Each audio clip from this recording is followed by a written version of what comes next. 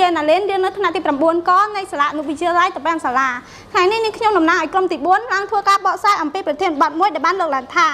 តស៊ូនឹងមនុស្សចេះជំនះតើទស្សនៈខាងលើមានខ្លឹមសារយ៉ាងណាចូលបញ្យល់ដោយលើកឧទាហរណ៍មកបញ្ជាក់សេចក្តីអធិប្បាយជីទៅទៅក្នុងការរស់នៅរបស់មនុស្សម្នាក់តែងតែជួប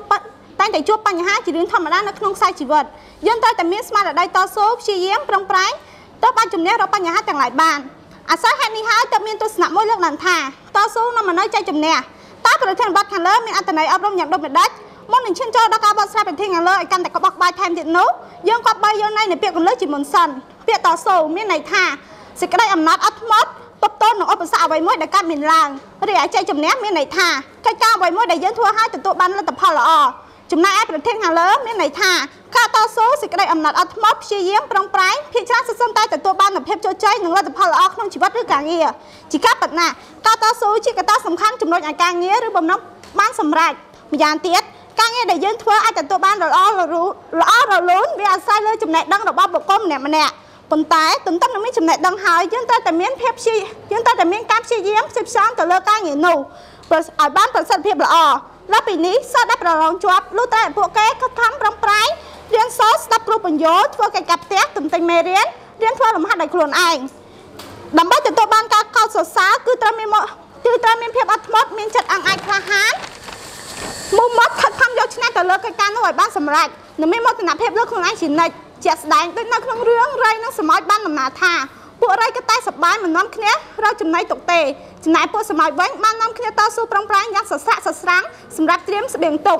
នៅពេលដែលរដូវវស្សាមកដល់ពួករៃក៏អត់អីស៊ីហើយនាំគ្នាទៅប៉ឹងសមោចតែសមោចមិនព្រមឲ្យព្រោះវាមានស្បៀងសម្រាប់តែគ្នាវាប៉ុណ្ណោះនេះសពបញ្ជាក់ឲ្យឃើញថាអ្នកមិនខិតខំតស៊ូប្រឹងប្រែងច្រើនជួបតែសេចក្តីលំបាករីឯអ្នកឧស្សាហ៍ព្យាយាមរមែងមានភាពរីកចម្រើនតួយ៉ាងដូចនៅក្នុងរឿងកុលាបបៃលិនរបស់លោកញឹកថែមបានបង្ហាញឲ្យឃើញថា តួអង្គចៅចិត្តពិតពិតជាបានខិតខំតស៊ូធ្វើការជាកម្មកររែងត្បូងក្រោមកម្ដៅថ្ងៃ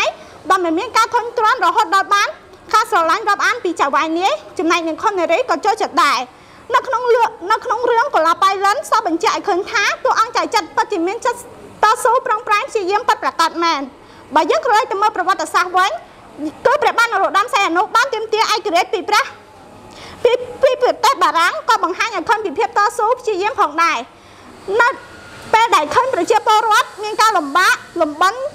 ទទួលការគៀបសង្កត់ពីបារាំងទាំងផ្លូវកាយទាំងផ្លូវចិត្តដូច្នេះទៅព្រះបាទនរោត្តមសីហនុមានការខ្វល់ខ្វាយជាពន់ពេកខិតខំរីរកដំណោះស្រាយរំដាប់ប្រជាជនឲ្យចេញផុតពីភាពខ្មាំងងងឹតនៃអាណានិគមបារាំងធ្វើឲ្យព្រះអង្គយាងទៅអាមេរិកបារាំងកាណាដានិងប្រទេសជប៉ុនបន្ទាប់ពី បន្ទាប់ពីបារាំងប្រកបឯករាជ្យខ្លាំងខ្លាយមកដល់កម្ពុជាប៉ុន្តែការយាងទៅក្រៅប្រទេសពុំទទួលបានលទ្ធផលអ្វីទេដោយសេចក្តីតស៊ូដ៏មុតមាត់របស់ព្រះអង្គព្រះអង្គក៏យាងទៅគង់នៅតំបន់ស្វាយ័តដែលមានខេត្តសៀមរាបបាត់ដំបងកំពង់ធំដើម្បីបង្កើតជាចលនាកម្ពុជាចលនាកម្លាំងជីវពលក្រុមនារីក្លាហានក្នុងការទាមទារឯករាជ្យបរិបូរនៅនៅទីបំផុតក៏ទទួលបានឯករាជ្យនៅទីបំផុតក៏ធ្វើឲ្យបារាំងប្រកល់អំណាចប្រទេសដល់ ព្រះបាទសីហនុនៅថ្ងៃទី9វិច្ឆិកាឆ្នាំ1953រីឯសម្ដេចរីឯសម្ដេចព្រះសង្ឃរាជជួនណាតក៏មានការតស៊ូព្យាយាមផងដែរមុននឹងគាត់ខ្លាចជាអ្នកប្រាជ្ញខាងអក្សរសាស្ត្រខ្មែរអាស្រ័យលើសេចក្តីព្យាយាមរបស់ព្រះអង្គទោះបីជាគាត់ជាកូនកសិករក៏ដោយក៏ការសិក្សារបស់ព្រះអង្គចេះតែមានការរីកចម្រើន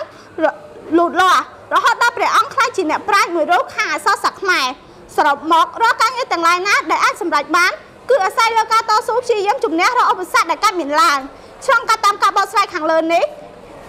ឃើញថាប្រធានដែលលើកឡើងថាតស៊ូនាំមកនៅចេះជំនះពិតជាមានការអប់រំគឺបណ្ដោះកំណត់ឲ្យអ្នកសិក្សាមានសេចក្តីព្យាយាមដើម្បីសម្រេចបាននូវភាពជោគជ័យរបស់ខ្លួនដោយនេះយើងមិនដោយនេះយើងគួរតែមានសេចក្តីតស៊ូប្រឹងប្រែងនិងមានវិធីសាស្ត្រល្អៗដើម្បីឲ្យសម្រេចបាននូវគោលបំណងដែលខ្លួនឯងប្រាថ្នានោះ ដោយនេះក្នុងនាមយើងជាសិស្សានុសិស្សជាតំពាំងស្នងរុស្ស៊ីយើងក៏បីប្រកាន់ខ្ជាប់នូវភាពអត់ធ្មត់តស៊ូប្រឹងប្រែងដើម្បីជំនះរាល់ឧបសគ្គទាំងឡាយណានឹងទទួលបាននូវភាពជោគជ័យក្នុងជីវិតជាចុងក្រោយខ្ញុំសូមអរគុណដល់អ្នកទាំងអស់គ្នាដែលបានយកពេលដ៏មានតម្លៃមកស្ដាប់ការបកស្រាយរបស់ខ្ញុំសូមអរគុណ